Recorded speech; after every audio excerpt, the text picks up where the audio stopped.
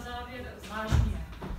Tady s Robertem jsme připravili Uherskou rapsodii Ference Lista, což je poměrně závažné dílo už, protože Ferenc Liszt byl teda absolutní virtuos.